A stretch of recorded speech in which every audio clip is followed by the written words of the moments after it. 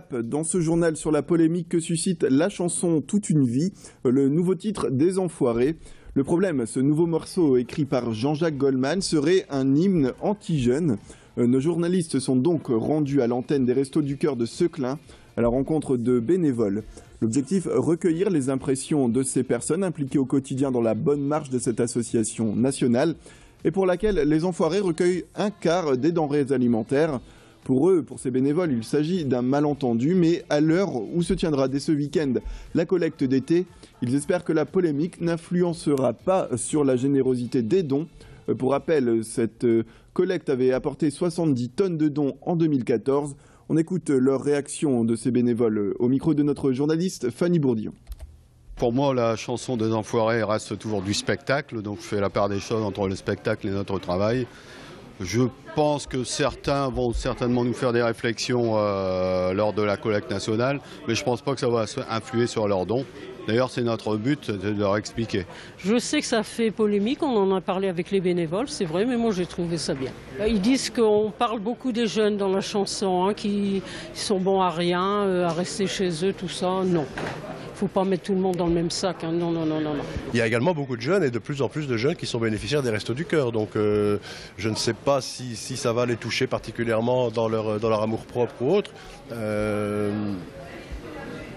je, je, encore une fois, j'espère que non. J'espère que certains vont comprendre quand même que euh, l'action des Restos du Cœur, ça n'est pas que les enfoirés. Retour dans ce flash sur un grand moment européen tenu vendredi à l'EDEC une des écoles de, commerce de Lille. Les membres de l'Eurométropole ont lancé la bourse au projet transfrontalier. Le but de cet événement, permettre à tous de trouver des projets capables de rassembler les régions du nord de la France, de la Wallonie et de la Flandre en Belgique. Pour cela, plusieurs axes de projets sont possibles, comme la recherche et l'innovation, la compétitivité des PME ou encore l'environnement. Ce programme s'étend sur Internet et permet à tous de proposer une idée et de rencontrer des partenaires de l'autre côté de la frontière, le tout pour mutualiser et optimiser les projets, avec à la clé tout de même un cofinancement de l'Europe. On écoute tout de suite Olivier Bédelem, membre du Forum de l'Eurométropole. Il était au micro de notre journaliste Fanny Bourdillon.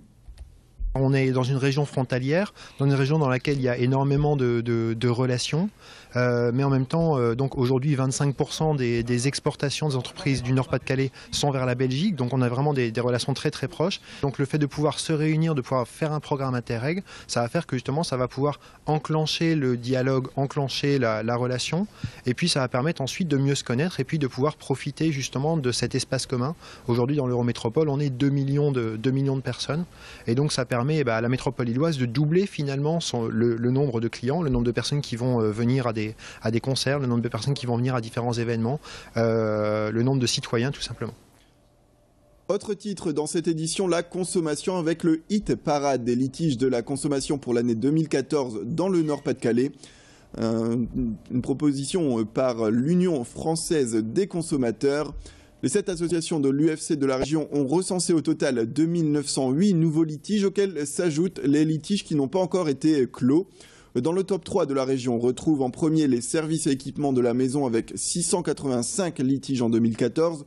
En numéro 2, le logement avec 591 litiges.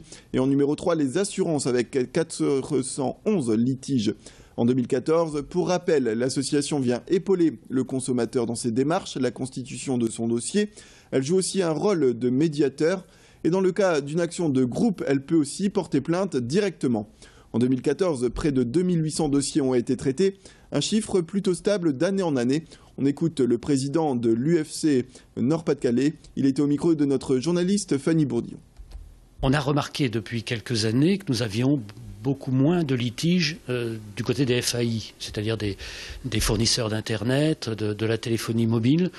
Il y a encore trois ou quatre ans, ça a explosé de ce côté-là. Alors aujourd'hui, on peut penser que les, fournisseurs Internet ou, téléphonie se sont assagis, ou tout au moins ils ont mis en place des réseaux pour pouvoir euh, euh, répondre aux consommateurs. D'un autre côté, on, a remarqué que pour les assurances, on était en hausse. Euh, pour le, logement, on est en hausse. On est en hausse aussi sur les litiges d'énergie. Mais au total, on avoisine toujours les, les 3000 euh, euh, litiges recensés. On termine ce flash avec euh, notre zoom sur les villes qui font le Grand Lille. Cette semaine, nos équipes de journalistes ont mis le cap sur ce clin. Après notre visite du marché hier, place au focus sur les projets de construction dans la commune. Et comme dans le reste de la métropole européenne de Lille, la demande de logement est forte à ce clin avec 700 demandes en attente. Pour répondre en partie à cette demande, trois chantiers sont en cours de construction. Au total, ce sont 128 logements neufs qui verront le jour d'ici 2016 déjà. En plus de ces chantiers logements et pour faciliter l'accès à Seclin, la mairie supervise le chantier de la gare de Seclin. Le but, transformer cet édifice du 19e siècle en une gare pôle d'échange euh, pour favoriser l'accessibilité et les déplacements euh, en transport collectif. Au programme des aménagements, des places de parking et des garages à vélo sécurisés. On écoute tout de suite Bernard Debreu, le maire. Il était au micro de notre journaliste Rémi Pem. Il nous parle de ce chantier de la gare. Nous avons une gare qui date de 150 ans, en centre-ville.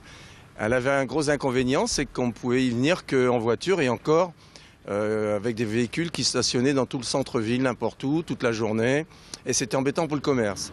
Donc l'idée, c'est d'en faire une gare pôle d'échange, c'est-à-dire un lieu où on pourra y venir en voiture, certes dans des parkings sécurisés, avec un garage à vélo sécurisé pour 100 places, et aussi l'arrivée des bus qui permettront d'utiliser des transports collectifs plutôt que les véhicules individuels. C'est la fin de cette édition Place à la météo suivie de l'infotrafic.